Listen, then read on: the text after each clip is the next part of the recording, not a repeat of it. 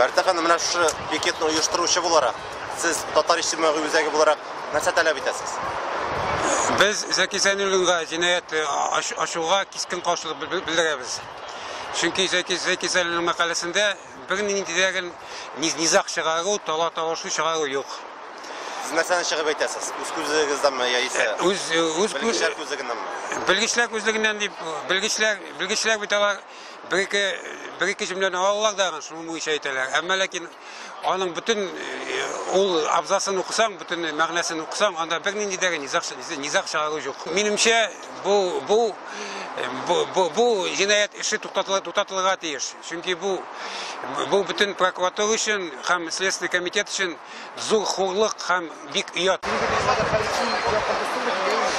Ә менә ул мәкаләгездә сез үзегез урыс халкын кыерсыттым дип уйлыйсызмы Yok. Yok. Anda bir kıyırsıtı da yok. Mına anda 14 punkt. Әмиңа делачлар bir punkt boyunca гына. Мына şu 14 punktка урыслар берсе дә җавап бирә алмады. Гаепле бит тапсалар сез алга таба нәрсә эшләргә уйлыйсыз Нәрсә эшләгән? Төрмәдә үлсәм үләм, көрәшәм мин нәрсә эшлим дим. Мин мин тек уйлый торган кеше түгел. Юк, судларга мөрәҗәгать итәргә уйлыйсызмы? Европа суды бар. Мин отказ иттем аларга җавап бирергә следователгә. Мин әйтәм, меня не вызывайте, я ни на один вопрос ваш отвечать не буду. Минем мәкалә чисто, ну как минем уйыл. Кешене уйлаган сүз иткәнне күргәнең бармы бер yerдә?